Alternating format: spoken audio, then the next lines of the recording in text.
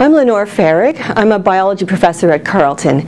And the type of things that we look at is how human activities, so for example, building roads, uh, growing crops, cutting forest, how these things affect the variety, the number of different types of wild animals and plants.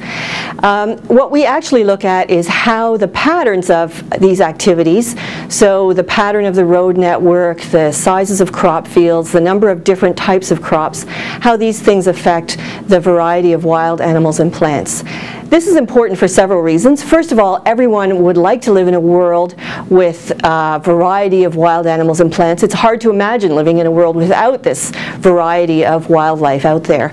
Uh, but also this wildlife provides uh, for us several services. For example, uh, they pollinate our crops, they uh, reduce the pest infestations on our crops and in our forests, and uh, they clean our water supply. And all of these things are important services that uh, wild animals and plants provide for us. And uh, what we're doing is trying to understand how we can have these activities, at, but at the same time maintain these wild animals and plants in our environment.